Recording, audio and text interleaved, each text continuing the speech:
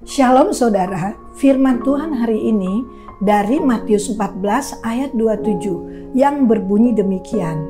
Tetapi segera Yesus berkata, Tenanglah, aku ini, jangan takut. Ketika persoalan hidup kita terlalu berat, beban sangat berat, kita percaya kita punya Tuhan Yesus yang selalu mengatakan, "Tenang, jangan takut, aku ada bersamamu." Tapi sering kali kita menjadi tidak tenang. Oleh karena itu kita tidak menjadi fokus terhadap Tuhan Yesus. Kita fokus hanya kepada masalah kita, hanya kepada persoalan kita, sehingga kita tidak bisa melihat Yesus yang penuh kuasa, Yesus yang selalu ada bersama dengan kita.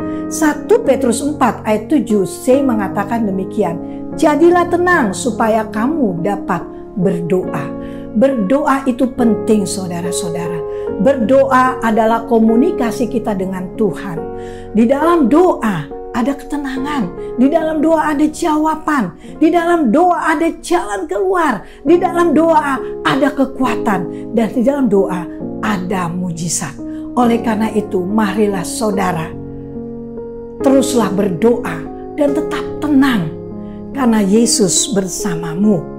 Yesus berkata, tenanglah, jangan takut. Aku ini, ketika kita berdoa, Dia menolong kita, Dia memberikan jalan keluar, dan Dia memberikan mujizat bagi kita. Tidak ada yang mustahil bagi Dia. Amin. Tuhan Yesus berkata.